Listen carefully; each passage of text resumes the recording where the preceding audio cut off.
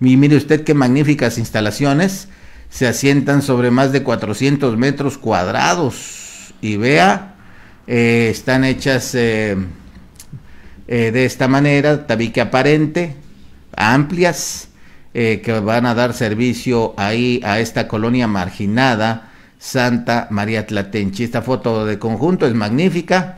Ahí era un área verde, un área que había sido donada y hoy mire flamantes instalaciones para la gente de esa colonia. ¿Qué van a, instalar ahí? El día de ayer platicábamos precisamente con la delegada de la colonia y presidenta del comité de este CADI, Marisela García Zurita, quien comentó que no se ha determinado eh, a qué van a destinar estas nuevas instalaciones. Ella comenta que podría ser por una, para una institución educativa o para un dispensario eso dijo lo decidirá la comunidad en asamblea.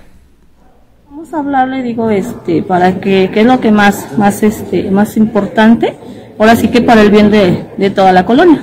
¿Qué opciones podría haber? Podría haber este, CONAFE, podría haber este dispensario, no tenemos dispensario aquí, no tenemos un doctor de planta, que, que es lo que también pedimos.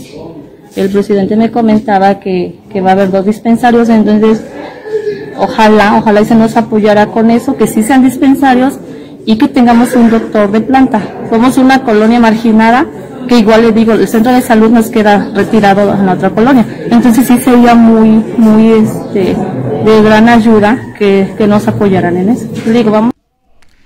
Ahí tiene usted, habrá que esperar, no hay fecha para la asamblea, ni fecha tampoco para la apertura de este magnífico centro, diseñado eso sí para los niños. Ese es el tema principal, los niños de preescolar. Vamos a ver qué decide la comunidad.